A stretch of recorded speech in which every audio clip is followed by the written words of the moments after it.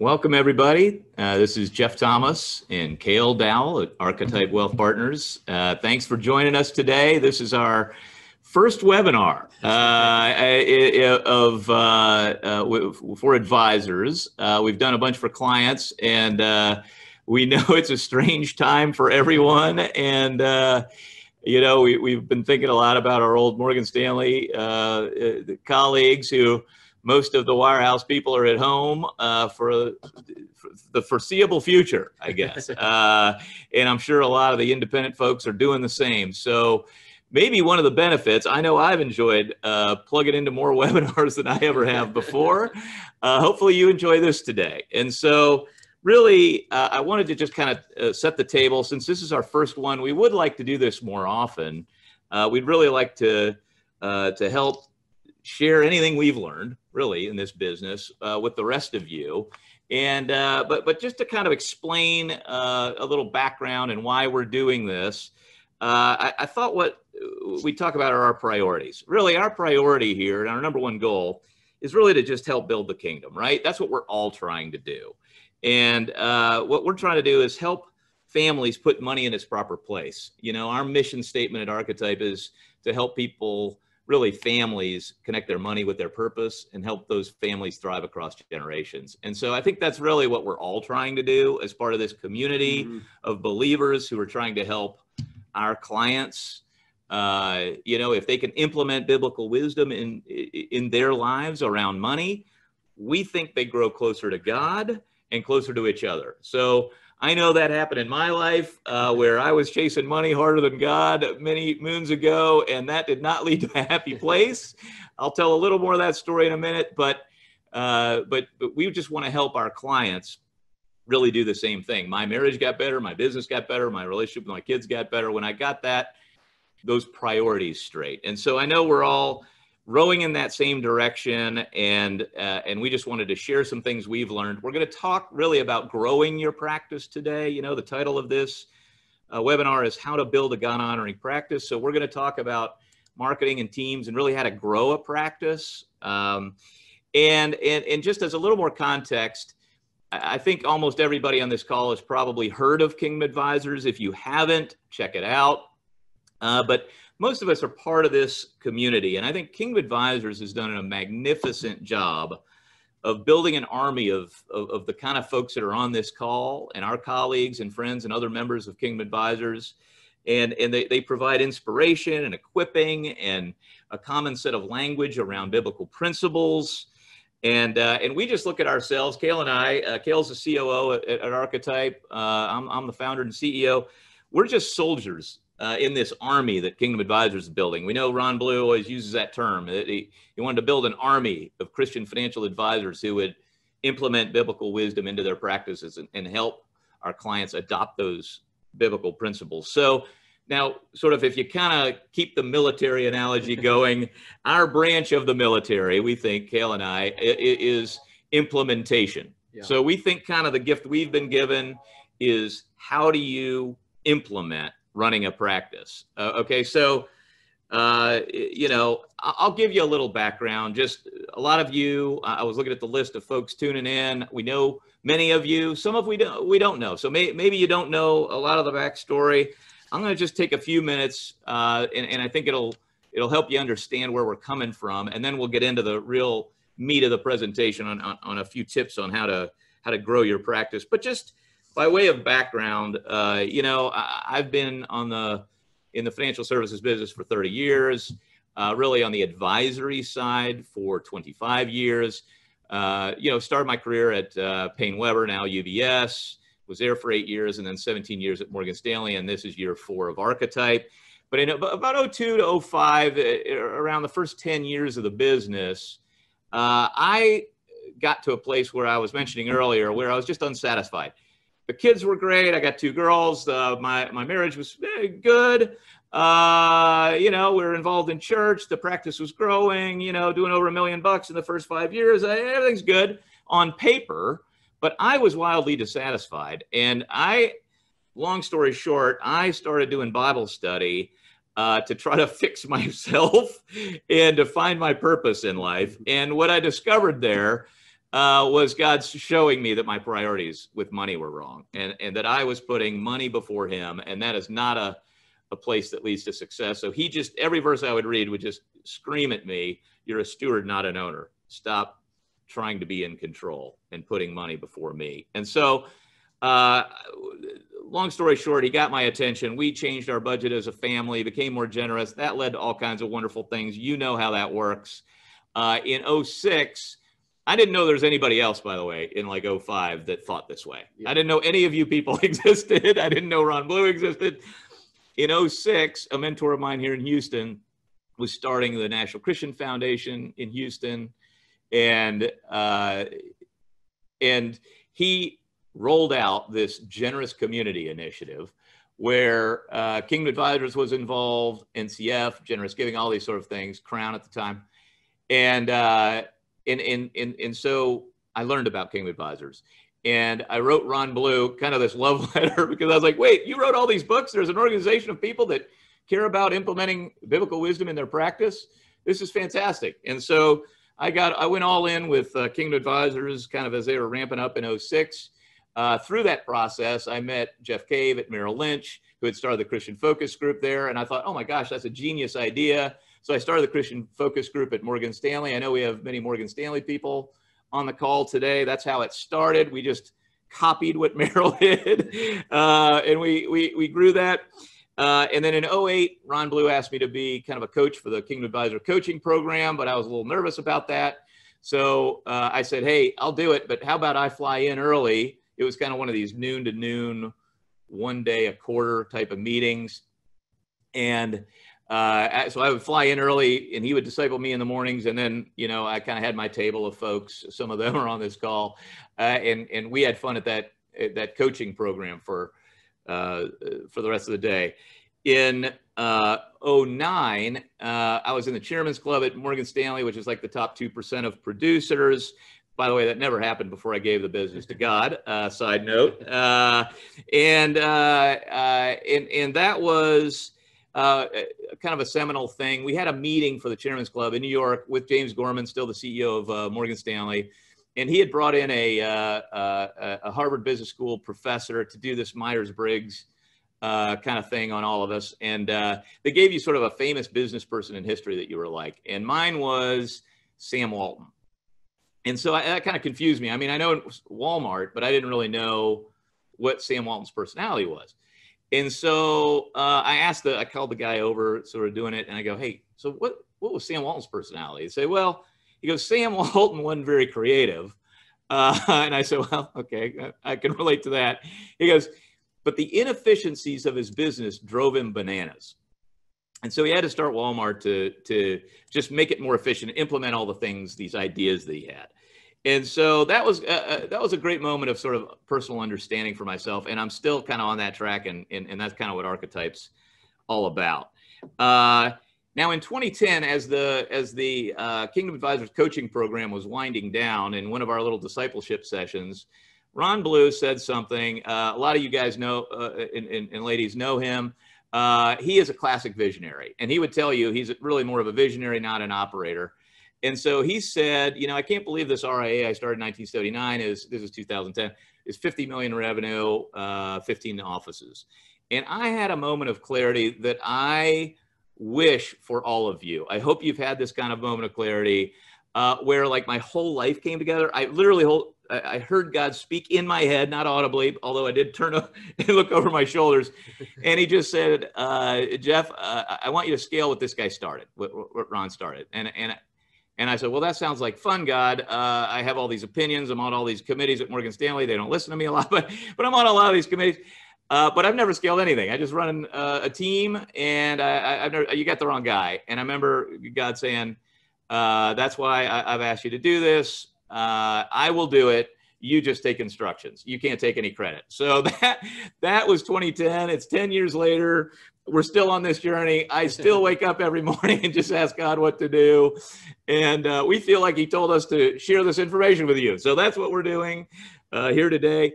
It was another six years from 2010 to 2016 where uh, when he said scale, I just sort of threw myself into the Christian Focus Group with uh, Brad Hulse and many others there to uh, really grow it. it. We had about 150 sort of people on an email list. We finally got it approved and got it up to about 600 members. Uh, but but in 16, uh, you know, we, we were partnering with about 50 different advisors at Morgan Stanley. But what what happened was the structure just didn't work. Okay, so from a teaming standpoint, you know, partnering was difficult. Those at, at wirehouses understand that. Communication was an issue. Uh, they were restricting our ability to communicate biblical wisdom. I understand that's loosening up. Praise God. That is awesome mm-hmm. for those of you uh, still at the Wirehouse. Seems like it's loosening up, and uh, that, that is awesome. But my job description, God had given me a job description to run a business, not, not be a financial advisor anymore, and create a platform for other advisors. So I really needed to have a platform change. So that's why we started Archetype.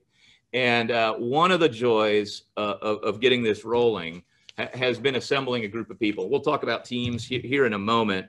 But just to kind of come back to, to what we're going to cover today, our scorecard for Cale and myself, and really at, at our firm, is to help this community that, that we're all a part of become more effective and efficient, again, at delivering that biblical advice. And, you know, we can't be talking about the Bible and not have a, a Bible verse. So one of my favorites is Ephesians 2.10. And it says, For we are God's handiwork, created in Christ Jesus to do good works, which God prepared in advance for us to do. And when I think about each person on this call, and hopefully the people that see the replay, I think about all the all the people that God has for you to serve. And uh, it, it, and, and we run into lots of advisors who are unbelievably sold out Christians, know this biblical advice so well, but they really struggle with gaining new clients. And, and we think God has this ideal model out there for you, and He's got all these people He wants you to serve. Today, we just want to give you a, a few lessons He's taught us on how to get in front of more of those people. Uh, so we just want to help uh, the, the amazing people that are on this call serve more of the people that God has ready to be served for you. So that that's really our our uh, uh, our why, if you will. Thanks for sort of indulging me on on, on telling the story. Uh, I have written all this in a book called Trading Up. We're going to give you a free copy uh, in an email at the end of this uh, webinar. So once again, thanks for tuning in. I'm going to really turn it over now to Cale Dow, who I said is the COO. So I'm kind of uh, turning into the big picture guy around here, and uh, Cale is the chief operating officer. I, I said, Cale, we need to do this uh, this presentation. The number one question I got when I was running the Christian Focus Group at Morgan Stanley, it would kind of come in different forms, but it almost came every day in an email or a phone call, and I would spend really like an hour and a half to two hours a day having this exact conversation that we're going to have today. But it's actually gotten a little better since we've launched our own company. But how do you build a God honoring business? And and so that's the question we're addressing. Kale is great at communicating these things. I tell stories, so I'll probably interject stories and all that. I'm just an old producer guy, uh, eh, but we're just kind of one beggar, as, as Cale will point out, show another beggar where they got bread.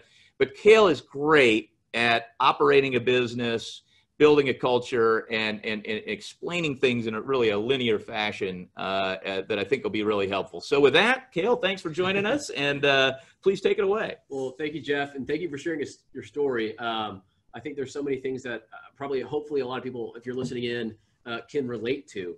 Uh, the desire to scale, the desire to actually deliver biblical wisdom, the humility to go, I'm not really sure how sometimes, I got to know some of it, but not all of it. How do I grow? How do I scale?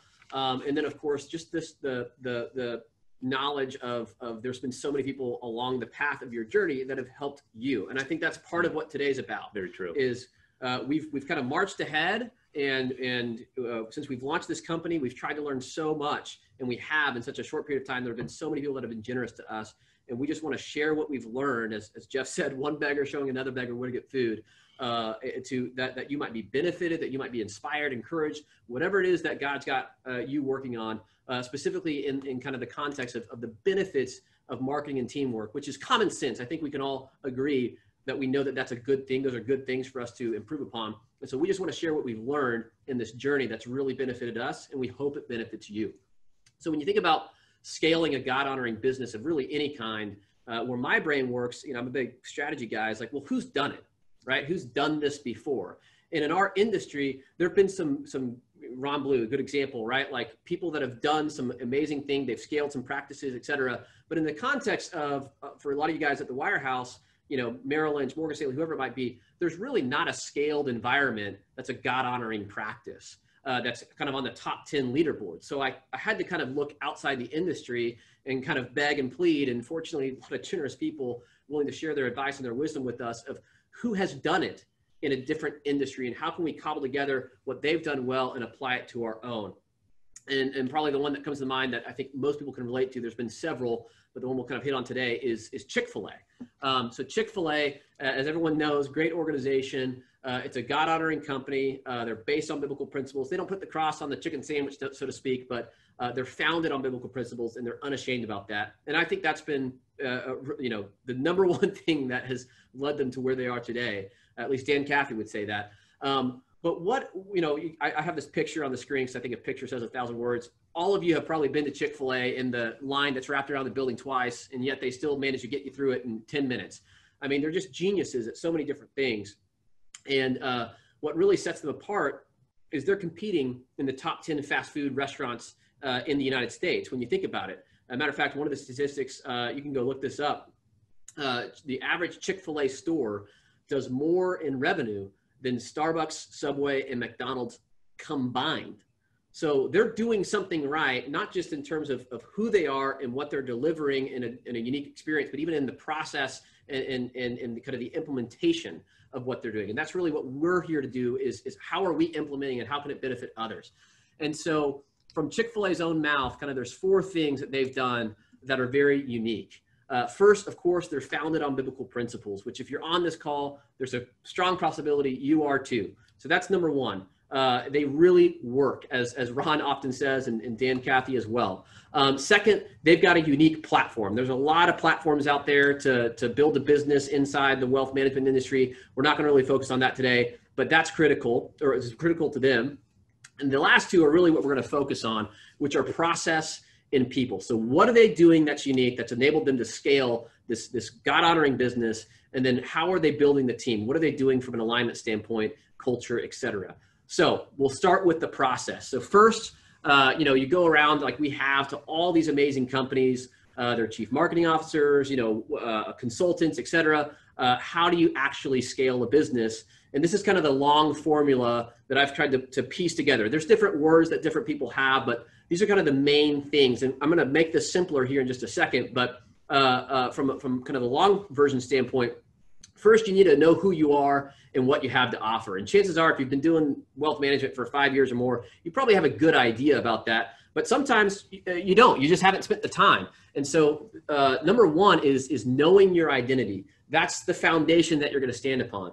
The second would be the niche. And we all know this. We've all heard this from, from marketing consultant, right? You need to pick your three ideal clients or whatever the case might be. Uh, we actually read a book called Scaling that was, was fantastic. And um, one of the things it talks about in there, we've heard this from some other uh, organizations that were uh, generous in sharing their wisdom with us, is really your ideal client should be one person. One person that if they hear your message, it's like an aha moment. It's like, oh, that that's me. I need that. And so for us, we really honed it in on who is our ideal client, the one person that if we get in front of them, we know there's a 90% chance it's a close rate. And, not because we're great salespeople, because but the fit is perfect. The fit of who we are and what we have to offer is just a match.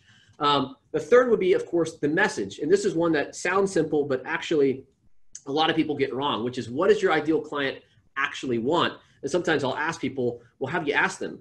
Have you asked them what they what they want? We tend to make a lot of assumptions in this industry. We read articles that give us assumptions. Oh yeah, you know, ultra high net worth people want this. Uh, but when you sit down and actually ask them what they want, you, you kind of do that over time. You can do surveys, etc. You start to get a different message, uh, which is interesting, and it influences the way we communicate. Uh, the fourth one is awareness, which is probably one of the hardest. Uh, does your ideal client know who you are? And we'd like to think yes, but the reality is a lot of times they don't even know you exist. And so, how do we increase the awareness? A lot of what we're going to talk about today is focused on that. Of course, personalization. So, how will you solve their needs? This goes back to the kind of the niche, the message, the awareness piece. How do you know their needs, and how are you going to solve their needs? Not just what do you offer. Maybe I'll kick in on that a little sure. bit. I, I know a lot of the wirehouse people for sure have seen Richard Wildman, you know, and he's an industry consultant. And I think most of these consultants, you know, just like our specialty is implementation, you know, a lot of these consultants have, you know, one thing they're a genius at, at talking about. Uh, I, I like Richard Wildman's thing. I think his genius is figuring out how the client uh, sees us. And so his big thing is talking about uh, you know, what, what are the benefits mm. of what you sell as opposed to how many years you've been in biz, the features. Yeah. The features. Of course. You know, your portfolio, all, all of these kind of things. But what are the benefits to the client? What's the language they would use? Mm-hmm. So I think that messaging you know you start getting their language which allows you to personalize it for them using their language yeah. as opposed to because i always want to tell them how smart i am and yeah. they tend to not care. Yeah. They care about their own needs and then if they're going to give a referral they're trying to help their friend. Sure. So they're going to use their own language not how many years of experience does scale have but oh my problem has a friend. I know a person who can solve that problem. So using the client's language as opposed to the stuff we make up in our in that's a good point. Something that's that's been interesting as we've gone through this process is of course in our industry right we, we deal a lot with with trading with portfolios et cetera. Performance does matter. But is it number one? And statistically speaking it's not number one of what clients are looking for. Sure it's in the top several but uh, that's just fascinating to learn that and then knowing what's number one specific to that niche. That's how you start to tailor your message and, and, and even building the awareness for that specific niche um, so the delivery. So how is the message actually being delivered? Are you doing that? In what avenues? Uh, how, what technologies are you using? Uh, who's doing the business development side? Who's giving the pitch? Uh, all these things matter. And then the last one, uh, that's kind of the holy grail we all talk about a lot, but very few of us actually uh, capitalize on is who's actually referring you? How are you generating additional leads that maybe you you wouldn't have otherwise? So I like to think in terms of simplicity. So I like to take complex kind of things and, and a lot of ethereal things and kind of break it down into, okay, what does this actually mean and how do we actually implement on it? So when I see all this kind of long formula, uh, I like to break it down into kind of three simple objectives. You know, all of that to me fits inside three things. Uh, number one is recognition. Are you able to generate leads? Are there leads being generated that you can follow up on, that you can connect with, that fit your target market, et cetera? So number one is recognition. And we're going to talk about how to do that. Number two is results.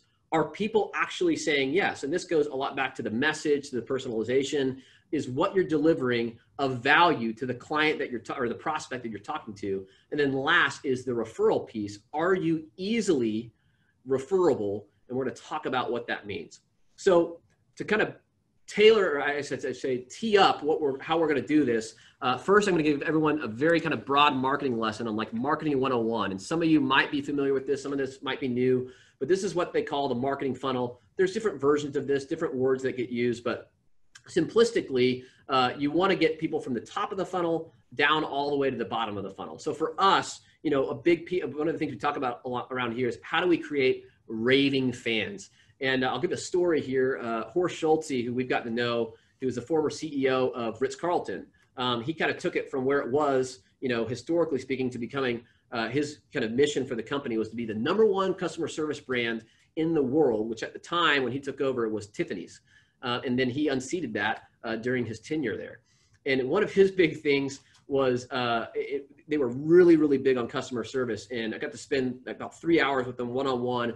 He would tell all these amazing stories. But one of the big, big takeaways from that he shared with me was for him, it wasn't just about creating a satisfied customer or a loyal customer. He wanted to deliver an experience that was amazing enough, meaningful enough that someone would talk about it either at the appropriate prompting or even without being prompted. And he gives this example of going into a bank, right? You go into the bank and and you need to change some coins out, let's just say, and the person takes care of you, you're satisfied. But are you going to go tell your friends about the experience? Probably not. But when they go above and beyond, they do something unique, they, they personalize the experience. Now it can be more meaningful, and that's where you kind of create raving fans. So we want to get them from the top of the funnel of, of I don't even know who you are to how do we create a raving fan. So at the top of the funnel, we've got the awareness piece. And that's when we disrupt them, right? They're scrolling through Instagram or LinkedIn or whatever, they're on the golf course wherever they are, whether it's technology or in person, they don't know who you are and they're disrupted. And now they know who you are. The second piece is leading them down that funnel to consideration. What is it that you're offering that speaks to them? And that's where they start to consider. And ideally, you want them to go, oh, that's me. That sounds like me.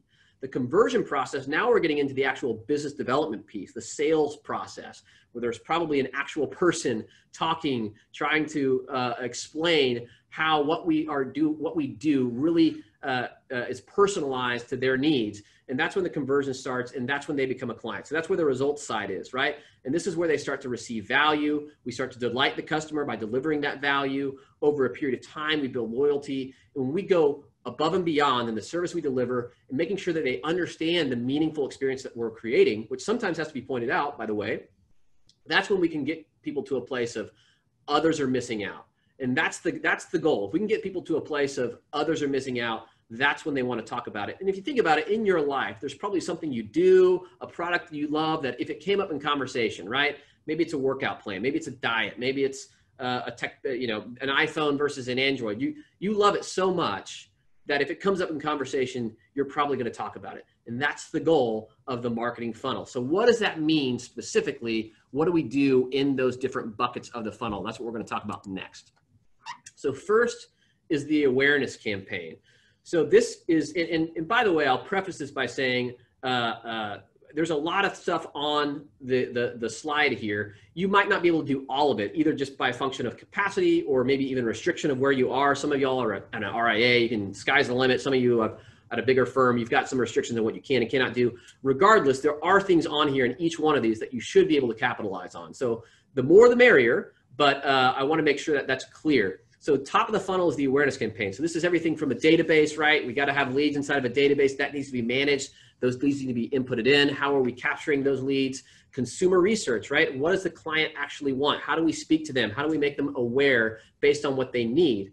Webinars, like we're doing today, blogs, videos, the right website design if you're on your own, SEO, search engine optimization of when people are searching for financial advisor Houston, are you coming up or maybe specifically uh, financial planning for retirement, things like that. Is it triggering something in the, the, the search engine to populate you at the top so that you get a click? Because all you're looking for is a look. That's where awareness starts. A newsletter, branding, all these things and more kind of contribute to the awareness piece. Moving down the funnel to consideration, this is where PR comes in. Uh, uh, do, do, other do other industry, uh, you know, uh, the, the place where your client might be, um, do they know who you are? Are they aware of you? Are they? Are you posting in those areas? Uh, are you running an email campaign to a targeted list based on the database back at the awareness stage that you've created? Uh, are you doing white papers for people to kind of consider? Hey, this is something unique to me. Um, educational events. Chances are there's something. If, if you're kind of going, well, I don't know if I have any unique or original content. Let me maybe just ask it this way: Is there some theme that you consistently hammer on with your clients? You know one little piece of, of wisdom that you have known that like every client you share it with like oh that's good. Like thanks for sharing that. Because if you do that's something original. That's something you can write a, a, a white paper about. That's something you could host an event about uh, perhaps even do a speaking engagement about.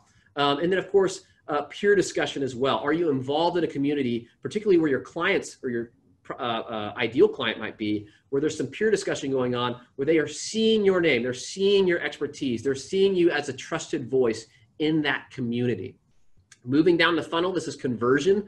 How are you then personalizing the value proposition? So the first two tops, the reason I have that orange is you haven't sold anything yet in those first two buckets of the of the marketing funnel. You haven't made a single pitch all you're doing is just making people aware of who you are and a consideration for is this person that someone that I want to trust? Are they offering something that's unique to me? And all along the way, you're tracking this so that when you get to a place of delivering a value proposition, you're able to personalize it for them. So, are you delivering a personalized value proposition? Is it relatable? Case studies are very helpful with this because that's when people can really look in the mirror and go like, oh yeah, I'm a business owner about to go through a transition, and he's telling me about a business owner that he helped that went through transition gosh, I need him. So the conversion piece really comes down to that personalization. And that's really where this is where business development tends to happen. The orange, that's really the marketing piece.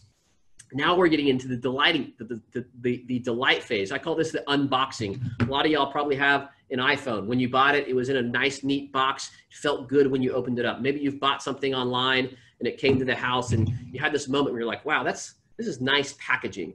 Well, that doesn't relate apples to apples to our industry. But when someone becomes a client, what's the experience? Is it a slog of paperwork, as it often uh, can be very easily, or is it is it a, is it experience that they go, man, I'm so glad I just made this purchase. So how do we deliver an unboxing experience that's worth talking about? And that kind of goes into uh, for us uh, what we call client experience historically kind of client service. Do we have the right people that are really helping with that onboarding process? Do we have it smooth do we have it tailored? How do we make it meaningful? Loyalty this is getting down into really now delivering the advice. Are we delivering above and beyond service? Is the advice meaningful? Are we able to track the metrics of what we're saying we're doing for them? Are, are they able to go back and see like yeah we're making progress. I'm glad i made this decision last year or 10 years ago or 20 years ago. I'm a loyal client we're doing client events that are that are a blessing to them that they feel good about. They feel like they're exclusive in a club uh, wow moments. This is something that we're big on that we learned from ritz carlton. He would give everyone in the company as an example everyone in the company had a budget to do a wow moment for any client. And it was already approved. And so the idea here was uh, he gave me one example of uh, a valet and a, a, guy a regular that comes to the hotel uh, notices he's always got powerade in the in the cup holder when he when he brings his car in. And so the valet makes sure uh, when he goes and gets the car, he goes to the vending machine, he buys a nice ice cold Powerade. Guy comes pick it up, and there's a fresh ice cold condensation dripping off the side Powerade sitting there in the cup holder for the client. It costs three bucks, but the, the the client goes, "Wow, you noticed, you cared, you took action." That's where it doesn't have to cost a lot of money, but that's where you start to really build loyalty. And when you do that enough, you start to build raving fans. And that's when you can start conducting surveys. Hey, what's working? What's not working? How can we do it better? You can start to analyze the funnel. You've got them from the top to the bottom. How, why, why did people get, why did, how do they move along that chain? Why did they move along that chain? Where were the gaps? Where did it fail? Uh, what do we need to get rid of? What do we not need to spend time? What do we need to spend more time on? And then, of course, empowering referrals because when you have raving fans, they want to talk about you. So it's easy to move into that referral phase. So that's the engine, as we call it, of how you actually scale and build a God honoring practice from a marketing standpoint. Is you have to be doing every single one of these things. You can't just do one because they all work in tandem with each other. And until you get someone to the bottom of that funnel, you can't go back and circle back to the top. So the, the, the marketing funnel, the engine as we call it, this is kind of the critical piece as we've learned it. Uh, not just not just with our business. This is we're we're doing this. We're not perfect at it. Every day we're tweaking, adjusting, etc., learning more. But this is what we've learned from all these amazing people that we've had to, that have been so generous with us, sharing, taking little bits and pieces. Some of it's apples and oranges because it's different industries, but the principles are fundamental and they transcend. And that's how we've built this engine that we're sharing with you today. And that leads to, as you noticed, right, there's a lot of different people along this chain. And in some cases, when I say a lot of people, it might be you. You might be the one person. And I get it. I know that's that's difficult, that's challenging, there's capacity, et cetera. But ideally, you've got people along this chain. You have people that are just doing the marketing, you have people that are just doing the business development, you have people that are just doing the advice, people that are just delivering the uh, experience. All of that's creating a raving fan. Uh, and so that's where the teamwork thing comes in. So we're going to talk about teamwork next. And uh, I love this slide because I think a picture says a thousand words. You know, our industry, historically speaking, is really predicated on what I call the black box, or in this case, the one man band, right? And I'm not knocking it because if you've ever seen a one man band, like in some town square in Italy or something like that. It's actually really impressive. Like I can't do it, um, but they're able to, you know, play the banjo, bang the drum. You know, they're tapping their foot with the cymbal and all this stuff. It's it's a, quite a sight to behold. Um, but it's it's it's a one man band at the end of the day. It's very different. It's it's not intended to be the same, and it's not the same as an orchestra. And so when you go back to that marketing funnel, the the ideal situation is that you've got an orchestra, uh, and you have a team that is actually working in tandem with one another in each one of those pieces of the funnel. So who's creating the awareness, uh, the recognition, who's actually capturing the results, and who is generating the referrals from these raving fans. All those people, all those pieces have to work in tandem, and all of that generally uh, uh, operates at its best when you have a different person doing each one of those functions. So teamwork is critical to the success of building a God honoring practice. And again, as I alluded to earlier, you might not be there yet or have the ability yet uh, to do that, but thinking ahead will really help you consider the processes so that you can, uh, when the time or opportunity arises, you can quickly move that process off yourself and onto somebody else. Um, the, the last piece of the teamwork and we'll get into to questions here shortly, is alignment. So now that we talked about teamwork and we know that teamwork's important for the marketing funnel to build a God honoring practice, uh, who do you actually capture? And this is this is critical because I think, uh, uh, largely speaking, our, our industry as a whole, not just any one company, but has done this a disservice. And and as we kind of waded into it and looked at like, particularly uh, uh, particularly once we got outside the wirehouse and we're able to see a lot of the different models, some good, some terrible. But what is what is the right kind of model that can work for uh, for you? And it's going to be individualized, personalized to your unique team, what you're doing. But really, five things have to align, and that's what I've got on the screen here. Financial alignment. So of course, do- dollars and cents, but incentives aligned with capacity that enables you to leverage a team and a lot of times we've come across instances or we've heard from other companies that experimented with this and they said hey when the financial incentives weren't aligned it did not go well you don't get the best people there's a high turnover so all those things have to come together um, mission alignment are the people that are on your team are they like-minded are they as jeff says rowing in the same direction because if they're not it's it's probably more of a headwind than a tailwind to get you to where you go. And I know, again, that can be difficult depending on where you are, but mission alignment is critical to success. Uh, and, and particularly from some of these companies that we've learned from, like Chick fil A, this is number one on their hit parade. If, if it's not mission aligned, they don't do it. Uh, uh, there's a maybe great, I'll tell a story on that. Yeah, if you jump in here. Uh, we had a, we had a consultant come to our team uh, when we were at Morgan Stanley uh, years ago, and uh, I had been in different partnerships over the years and that sort of thing. And I was in this long-term partnership, and uh, we had a consultant come in and kind of do a team assessment, you know, the personality stuff, and it was just a couple of day engagement. And I'm driving the guy, the consultant, to the airport, and uh, and I said, you know, it was nice some of the personality stuff, how we could get along better and all, but I said.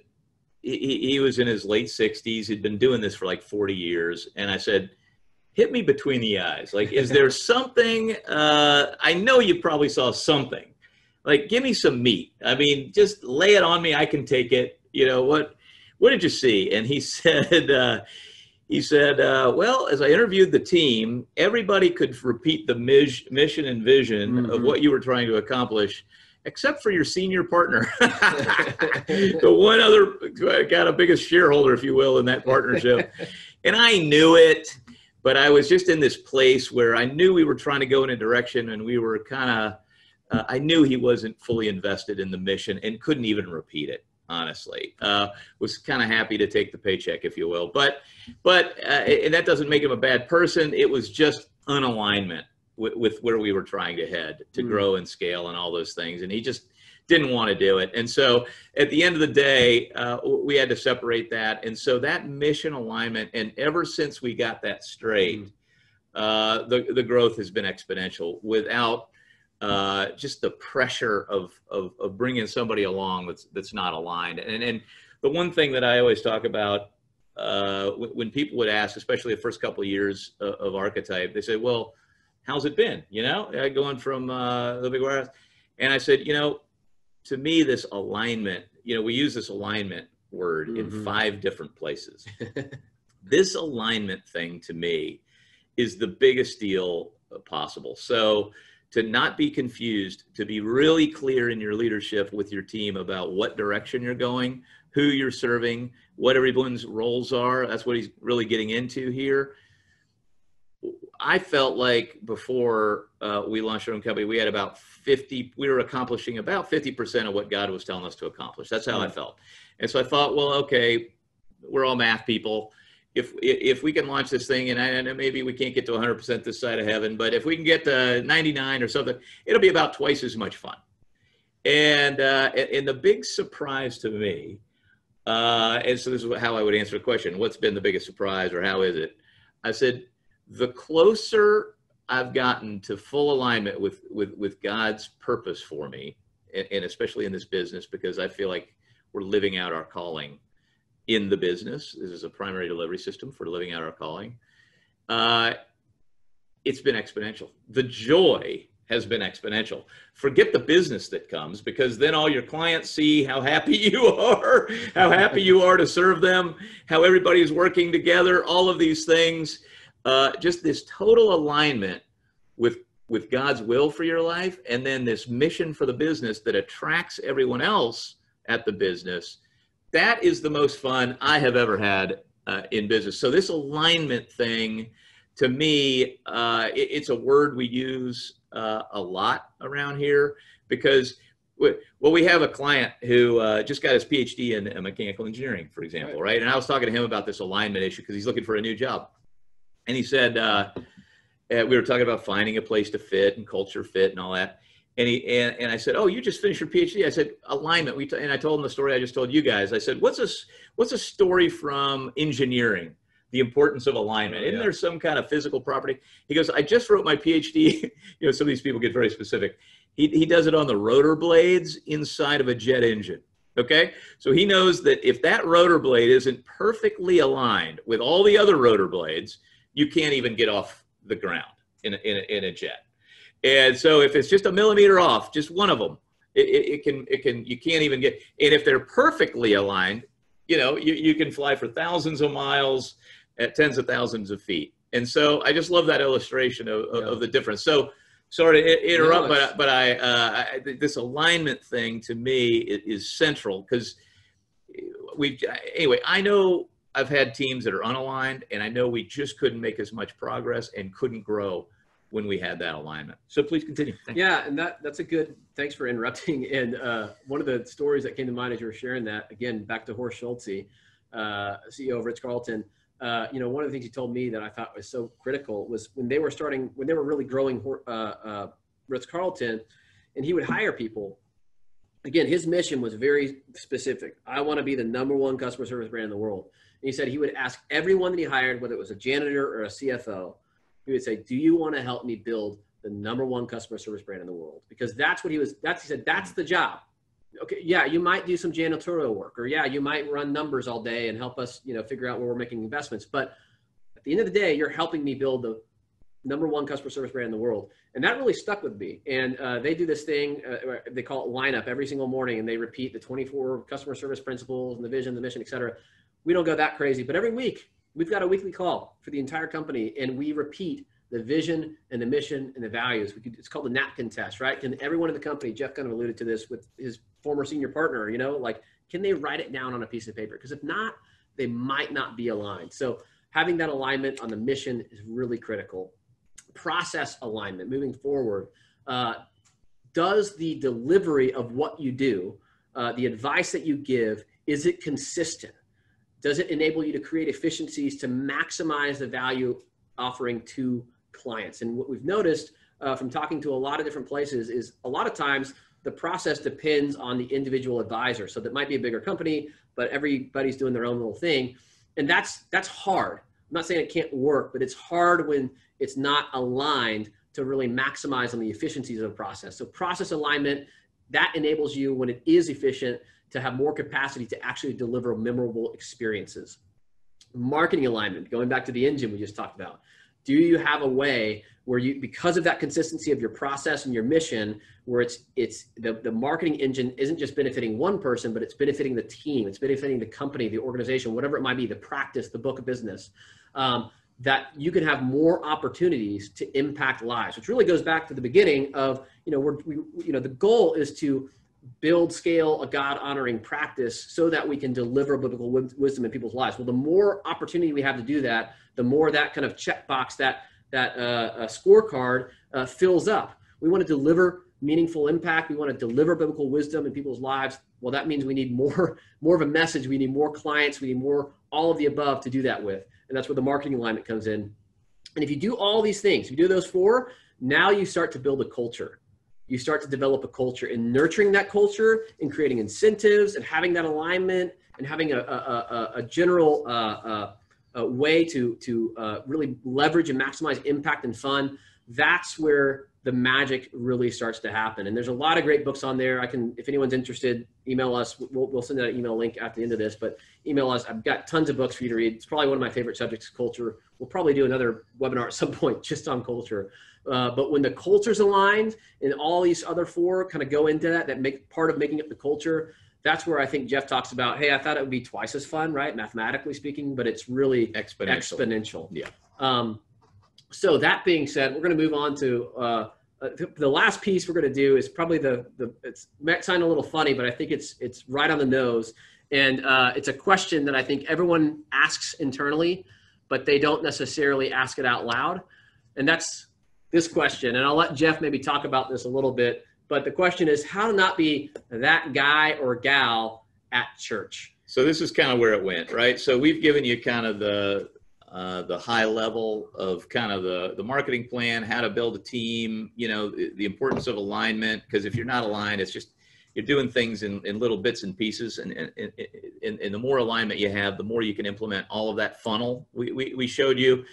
But but in, in these calls, I was just when we were putting this together, I was just harkening back to all of the questions we still get them uh, from all kinds of advisors about you know growing their practice and just taking it down to the most basic level you know, a lot of people are are on this call are involved in their church. That's clearly a, a, a great place to get clients from, but they don't want to be that person that everybody walks the other way when you walk into the sanctuary. Where, of course, no, not many people are walking into a sanctuary right now, but when you walk in again yeah. uh, one day, or you're on your Zoom call, you know they don't want to avoid you, uh, and and and so. Uh, I'll let uh, Cale kind of walk you through these things, but I'll, I'll just tell one story about that. And, and I was uh, uh, running the foundation at our church, and uh, it's just a foundation where people leave money uh, during life, uh, but but especially at death, and that really supports the church. And so, uh, you know, I put together a little seminar on behalf of the foundation to just educate the congregation, basically about two things. I go to a Methodist church, so there's a, a, a Texas Methodist Foundation uh, that does education about end of life giving, right? And, uh, and, and techniques on that, basically estate planning, if you will. So I had uh, the the chairman of that come and talk uh, and, and, give advice about doing wills and, the, and, the, and this sort of thing, and how you could leave money to the church. And then we also had the local National Christian Foundation uh, president come and speak about illiquid giving. And uh, really, I just introduced them, let them fly, thanked everybody from coming, and uh, and bought them some sandwiches. That that was my role. And I had a uh, a friend of mine that used to be in a Sunday school class together. We had launched another one. He had gone with that new launch years ago, and I remember he had started this little software company with uh, 12 people. That's what I remembered. It was 12 people in my head, but that was like 10 years ago at this point, and this is many moons ago and he said, uh, he said, hey, you know, I really like that illiquid uh, giving presentation. You know, my company, uh, we're selling it, and uh, yeah, could I talk to you about that? I said, sure, we'll we'll talk. And so we ended up having lunch at a later time and all that. Well, I was figuring, well, this is probably pretty small, 12 people. I mean, how, how big could it be? Well, the Carlyle Group was buying the company. It was 300 employees, and it was for hundreds of millions of dollars. So it ended up being, uh, it, it, it's one of our biggest clients to, to, to date. And, and so it's just things like that where, you know, we're just trying to give education to people. Uh, I've taught lots of classes at church on calling and uh, just all kinds of things that I love doing anyway yeah. I love doing anyway, but people find out what you do and they will seek you out. So I try not to solicit anybody at church, but have them find us, and I just try to serve well. And so uh, th- that I think is a hot topic mm-hmm. actually mm-hmm. within the Kingdom Advisor uh, community, and we're happy to continue that conversation out. So, how yeah. does that fit into your slide? So, kind of based on his story, right? Like recognition, I kind of take it back to those three R's we started with recognition, recognition, results, referrals, right? Recognition comes from maximizing non-sales opportunities. He was just providing education, right, on illiquid giving in this context. And that's the maximization of that non-sales opportunity. But it does what? It does awareness, right? Awareness and consideration like, oh, there's, I didn't, I didn't even know Jeff was a financial guy, but man, like I, I see him up there. He talk, talked about what he did, you know, and, and wow, consideration, like he clearly like knows a little bit about this stuff, like maybe it starts to to develop a, a, sense of who this person is in that person's brain. So the recognition piece did not have to involve a sales pitch. Um, results leverage your whole team where possible. For for us, you know, we're in a place where we can do this. Not everyone can, but when I say leverage your whole team as, as possible, uh, you can you you don't necessarily have to be the one selling. Uh, and so if you have a, if you have part of a team, uh, you can put another person in that role to actually pitch the actual business. Uh, but it also talks about the whole team from a marketing standpoint, from who's delivering the education, all this kind of stuff. You just want to be going back to that recognition piece, known as someone that's doing this uh, in the church organization. Um, and then the last piece is referrals. And, and when you when this does when you do this well, uh, when you are leveraging that engine, that marketing funnel that we talked about, you're building that recognition, you're, you're starting to deliver, deliver results that are coming not because of a sales pitch, but that's going to start to be communicated around town, so to speak, inside the church bubble, because it is a bubble, as we all know, gossip spreads fast, but so does success.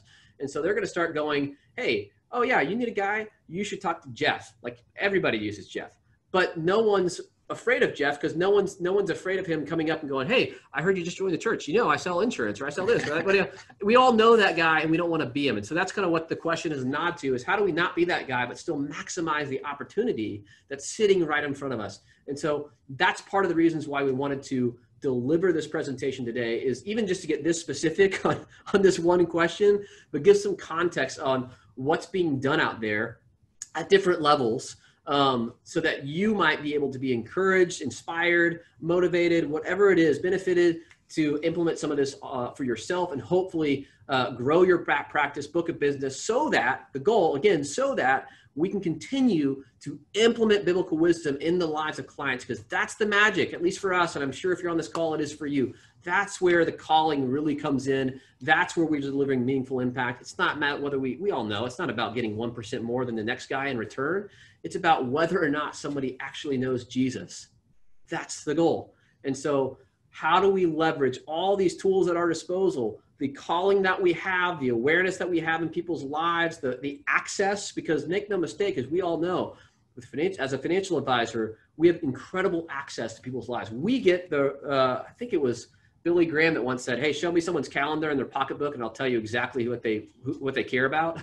Uh, we actually get the pocketbook, um, so we have an inordinate access to people's lives. So how are we stewarding that? That's what motivates us, and that's why we wanted to give this presentation today so that you might be encouraged, might be benefited to help scale and grow your practice. So that being said, uh, we'll close it out with some questions. Uh, if anyone has any questions, there's a Q&A feature that you should see in your Zoom, uh, probably either towards the top or towards the bottom of your screen. Uh, and so if you have any uh, questions, feel free to, uh, to ask them, type them in there, and we can answer them. Um, and then while any questions are coming through, I'll, I'll just mention a couple of different things. Um, uh, a, uh, we already got a question about a, a, link to download the presentation. Following this, following conclusion of this, we'll be sending out an email that you'll receive that has a link to download the presentation, a link to the recording if you want to rewatch it, or you've got a friend that couldn't be on but said, hey, give me the notes, you can just send them the recording. Um, uh, a link to Jeff's book uh, for free, um, and then a, a, little survey that we'd love for you to take. If you don't mind, it'll take literally less than 60 seconds, but just what did you, was it, was this good? or not? And is there anything you'd like to hear about in the future that we might have some knowledge on? Because that's what we're trying to do is just educate, be a part of this community, and be generous with what God has given us and other people have given to us. We want to share it with everyone uh, that we love and appreciate as well. Um, so that being said, uh, one question that's coming in: uh, How how do I do this and be an advisor at the same time? This is it's a good question. You want to take the first exactly. That's kind of why we put the last slide in there. Yeah. Uh, you know, the, the the things that was going to my brain. I know a lot of this. You know, I know when I saw this, I said, you know. I know a lot of you, you know, there's probably a range of experience. I'm sure there is, you know, on, on the call from some new people uh, in the industry, uh, some people have been around for even longer than I have. And, and so, uh, you know, we know that it's hard uh, in smaller practices to implement all of these things, but hopefully you can pick one thing.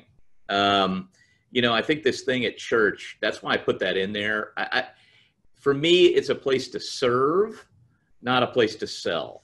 And, uh, uh but we we did this thing when when the National Christian Foundation of Houston uh, started, uh, and, and uh, I was on the board for a couple of terms, and they would show like where where most of the money was being given.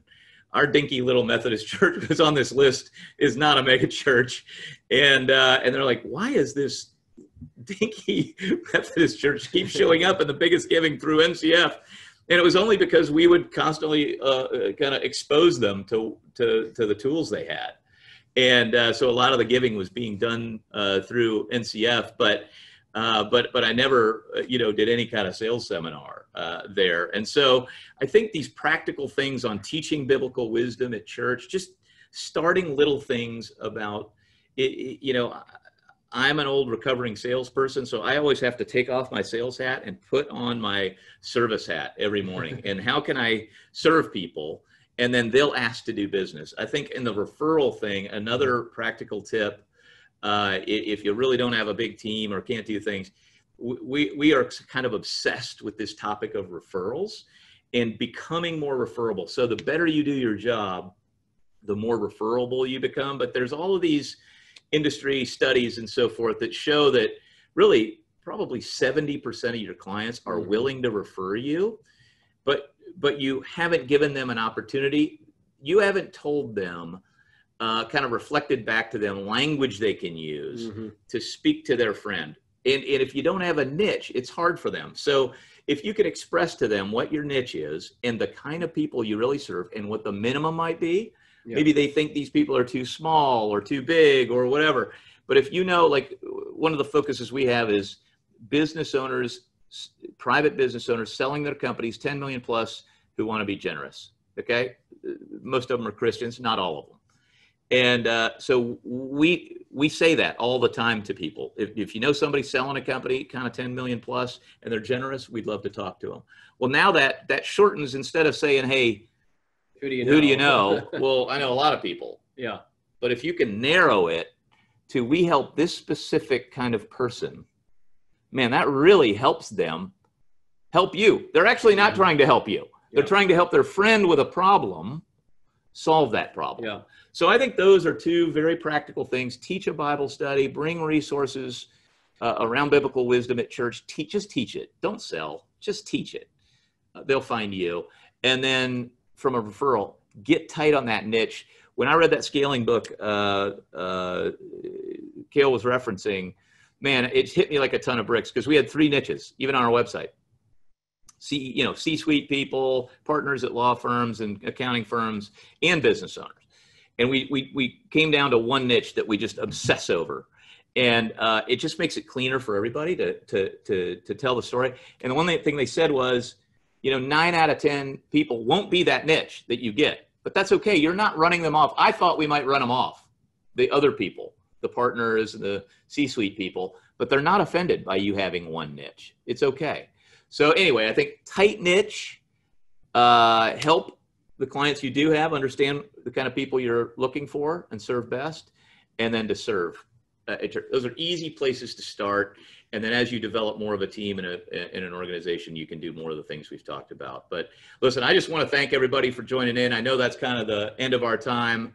Uh, there, you can find us. We'll send an email out. Just respond to that email. So a couple of questions that came in, I, I, I, just want to sure. make a note of this since we don't have time to answer it, but I will follow up uh, directly and answer your questions. So just as a FYI. But we want to respect everybody's time. I know you gave us an hour and it's a, a minute over. So, uh, but we started a couple of minutes late. So thank you for uh, tuning in and, and, and let us know what we can do better. This survey, I, I mean, I know I skip a lot of surveys, but we're giving you some freebies uh, along with the survey. So if you don't mind, uh, help make us better. And we'd love to do more of this and have other topics. But just like we said, ask ask the customer what they want. Yeah. You tell us what you want, and and, and that's what we'll do. And uh, and we hope to do this more and see you all. Uh, blessings to each of you as you go forth and uh, uh and serve your clients uh, in, in a loving way in reflection for what God's done for us. Thank you, guys.